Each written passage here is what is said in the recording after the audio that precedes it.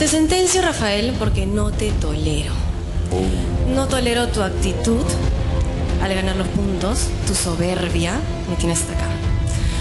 Y la verdad, no tienes tino para tratar a una dama. El cara a cara que mantuvo con Rafael Cardoso provocó una polémica semana en donde el garoto fue blanco de críticas porque, según las leonas, Melissa y Michelle, no respetaba a las mujeres. ¿A ti te dijeron algo ayer? Y yo quiero que tú lo digas, por favor. Porque definitivamente aquí en este programa no vamos a permitir que venga una persona a amenazar o a, no sé, intimidar a nadie. Ese comentario que le hiciste, y sabes a quién, a quién le estoy hablando, que le hiciste a Melissa, lo sé, y lo sabemos todos, y lo sabe la producción. Ustedes están hablando de mí, yo quiero que termine de hablar y ahí hablo yo. Hablen de mí, pero hablen. A ver, a ver, Rafael, ¿qué fue lo que le dijiste ayer? No, no, no, usted- y ustedes que terminen. ¿Qué? No me Ustedes señales, a mí no me señales. ¿Qué fue lo que dijiste ayer? Es que no, que yo terminen. voy a defender a mi, a, a- a la- a mi, bueno, ya, ok. Yo me voy a tranquilizar, me voy a ir de acá porque me estoy poniendo un poco fastidiada. Sí, vayan, vayan. Yo solamente en el cara a cara, que es un bloque bastante difícil para todos, porque tenemos que sentenciar y tener, digamos, de alguna u otra manera argumentos, no sé. Este.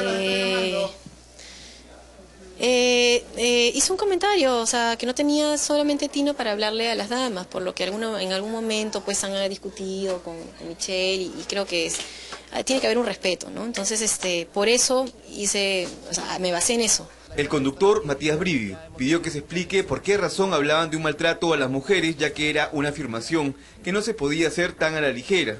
Yo quisiera saber, en realidad, cuando hablan de, de maltratos de Rafael, ¿a, qué, ¿a qué se refiere específicamente con un maltrato? Porque decirle a alguien maltratador de mujeres en señal abierta es bastante fuerte. Entonces yo quiero saber a qué se refieren cuando dicen maltrato, solamente para que saber de qué estamos hablando cuando hablan de maltrato, ¿no? ¿De que maltrato físico?